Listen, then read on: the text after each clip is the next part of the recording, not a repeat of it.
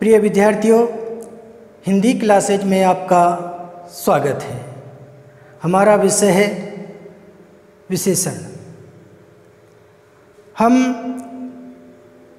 विशेषण की परिभाषा, विशेषण के भेद, इन सभी से हम परिचित हो चुके थे। आज हम पढ़ेंगे विशेषण का पहला भेद गुणवाचक विशेषण। गुणवाचक विशेषण की ये परिभाषा है, वे शब्द जो किसी व्यक्ति व वस्तु के रंग रूप गुण दोष, आकार प्रकार व स्वभाव संबंधी विशेषता का बोध कराते हैं, उन्हें गुणवाचक विशेषण कहते हैं। ये निम्न उदाहरणों द्वारा समझा रखा है, लाल दुपट्टा उड़ गया। आपने परिभाषा में पढ़ा होगा, जब मैंने परिभाषा आपको पढ़ाई थी, जब आपने पढ़ा होगा। तो हम पर विशेषण की परिभाषा थी, वे शब्द जो संज्ञा व सर्वनाम की विशेषता बतलाते हैं, उन्हें विशेषण कहते हैं। तो यहाँ दुपट्टा संज्ञा शब्द है।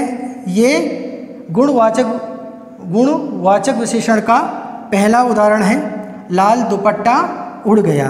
तो दुपट्टा यहाँ संज्ञा शब्द है और लाल यहाँ इसकी विशेषता है। तो यानी कि दुपट्टा संज्ञा है। इस संज्ञा की विशेषता, इस संज्ञा की विशेषता क्या है कि ये लाल है।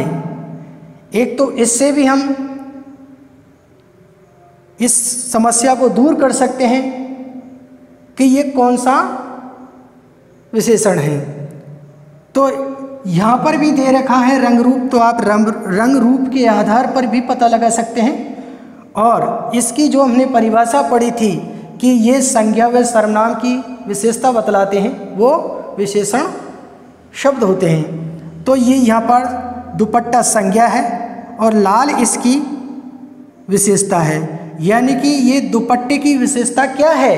तो दुपट्टे की विशेषता है कि इसका रंग है जो लाल है।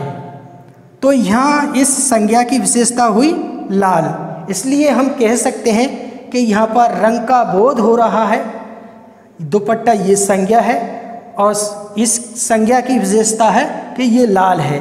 तो लाल यानी कि यहाँ पर रंग का भेद हो रहा है। इसलिए हम कह सकते हैं कि लाल दुपट्टा उड़ गया, गुणवाचक विशेषण का उदाहरण है। दूसरा उदाहरण है, लाल टोपी जा रही है। यहाँ टोपी शब्द है, वो संज्ञा है, टोपी शब्द संज्ञा है और लाल इसकी विशेषता है। यानी कि इस संज्ञा की विशेषता क्या है कि ये लाल है। तो टोपी की विशेषता यहाँ पर बताई जा रही है, यानी कि संज्ञा की विशेषता विशेषता यहाँ पर बताई जा रही है कि ये लाल है। यहाँ पर लाल क्या है? ये रंग है। इसलिए हम कह सकते हैं कि ये दूसरा उदाहरण भी गुणवाचक विशेषण का है। इसी तरीके से ये तीसरा है, बगीचे में काला रीछ नाच रहा है। तो ये काला रीछ। काला रीछ नाच रहा है। तो ये रीछ क्या है? रीछ यहाँ पर संज्ञा है। और इसकी विशेषता क्या है? कि ये काला है। इसकी विशेषता क्या है? कि ये काला है। इसलिए हम कह सकते हैं कि यहाँ पर रीछ जो संज्ञा शब्द है शब्द है, इसकी विशेषता बताई जा रही है। इसलिए हम कह सकते हैं कि ये बगीचे में काला रीछ नाच रहा है। ये गुणवाचक विशेषण का उदाहरण है। इस तरीके से हमने आज विस्तार पूर्वक या विधिवत रूप से गुण, गुणवाचक विशेषण का अध्ययन किया है या कर लिया है। आज के लिए इतना ही। शेष कल पढ़ेंगे। Thank you.